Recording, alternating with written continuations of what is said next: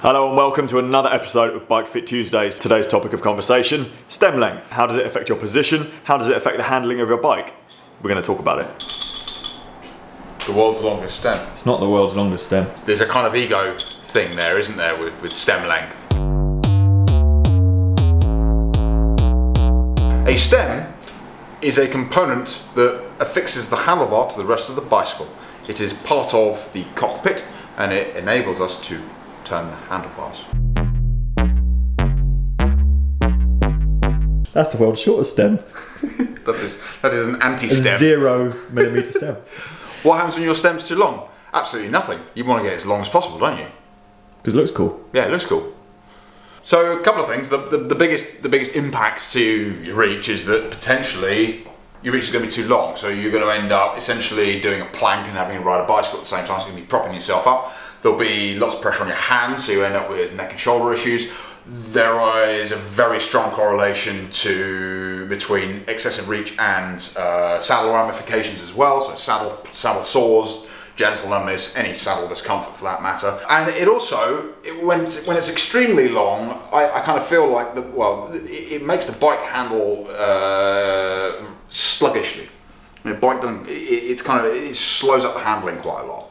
Uh, so there's a sort of balancing act between you know high speed stability and the thing still feeling agile. But fundamentally, if it's if it's too long, uh, you probably get numb hands or neck and shoulder issues or saddle issues, and your bike ride like shit. Problem with it being sh- too short, and you know, stem. I think it's, it's worth noting to the viewers that uh, stem lengths come in between five and ten millimeter increments. Uh, there, I mean, this is a 70 millimeter stem, which is not as short as they get. They get shorter than this, and this is a 130 millimeter stem, which is again not as long as they, they, they get. Oh, on mountain bikes, there's like. Mountain bikes they go down as, as low as 40 mil. Uh, or actually, even in some cases, there's this sort of direct mount um, uh, system. But uh, on road bikes, you know, in, in some pro circles, you might see 150, maybe even longer millimeters um, in stem length, and you know, you, you can you can fine tune that position. And more often, one thing to consider is that you, there isn't one stem length. Like, you could probably ride two or three different stem lengths if your fit's pretty good. Uh, but the problem with having a stem length that's too short, again, depends on the type of the bike. Having it too short can make the bike feel erratic and quite um, quite scatty. So particularly at high speed, so a lot of riders will end up with a, a sort of high speed shimmy. The you know the front wheel will start to wobble, a bit like Lawrence's bike on the Vietnam trip. Maybe you should look at those videos. So it's worth pointing out or noting that you don't want to go too short. I, depending on the bike, I tend not to fit anything much shorter than a 90 mil. That being said, if you've got a bike with a slacker head tube angle and a longer wheelbase, you, you might be able to get away with something, which you tend to find on smaller bikes or more endurance orientated bikes.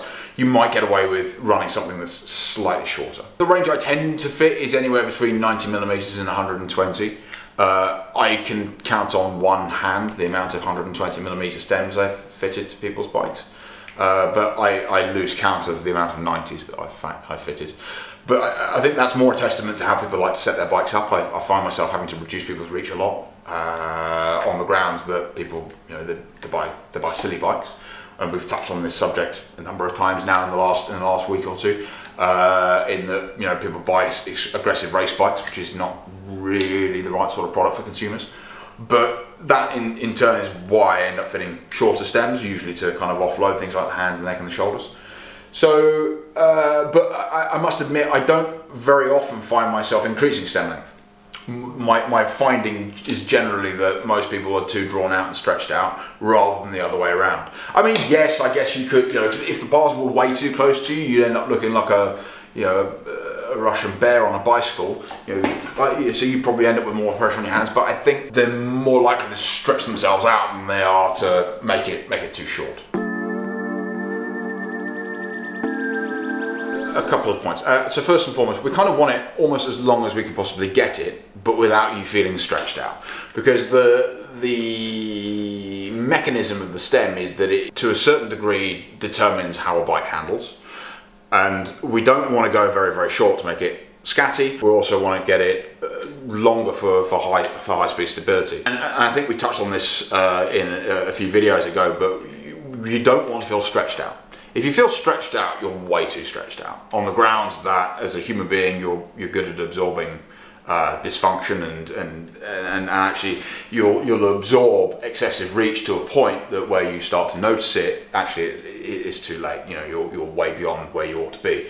So I would say, and unfortunately, it's a relatively expensive uh, experimentation. Well, unless you go and buy a load of stems on eBay.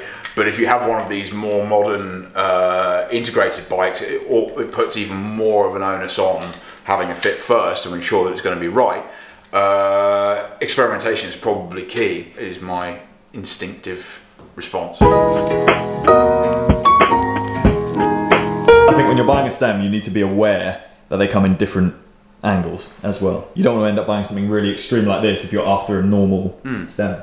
I mean, that's that's a negative 17, 130 mil stem. And if we look at this, so this is a standard six degree, you can see the difference. So, you know, if you align the, the, the clamp areas, you can see how much of a difference there is between, yeah, and these are the same length. And you can see how much closer the bore of the handlebar is going to be depending on, depending on the reach of the, depending on the angle of the stem. So not only does it affect height, but it also affects reach quite dramatically.